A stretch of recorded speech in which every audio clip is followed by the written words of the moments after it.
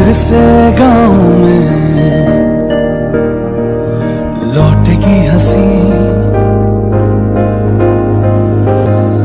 फिर से शहरों में रौनक आएगी। ना होगी पाबंदी, ना रोक ही कोई। इसे साथ सारे Stay home, stay safe. Thank you for watching our video.